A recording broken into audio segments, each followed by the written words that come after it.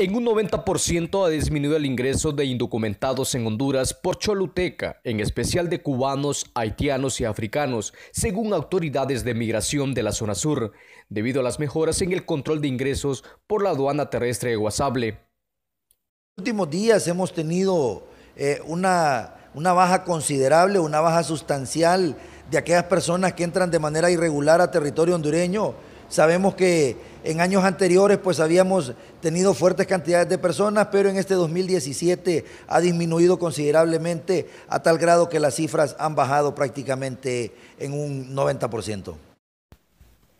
Las autoridades recalcaron que les dan un trato digno y justo y se les brinda toda la asistencia necesaria respetando sus derechos como seres humanos.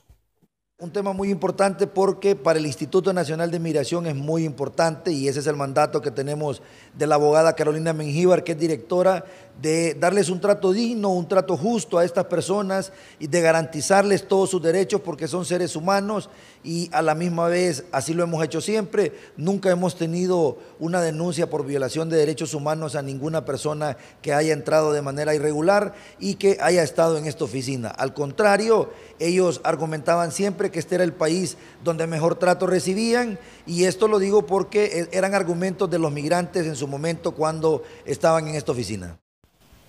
Los indocumentados procedentes de África, Asia y Sudamérica llegan de manera ilegal vía frontera de Guasable con la República de Nicaragua con destino a los Estados Unidos. Para Radio y Televisión Nacional de Honduras, desde la ciudad de Choluteca, les informó Donaldo Larios.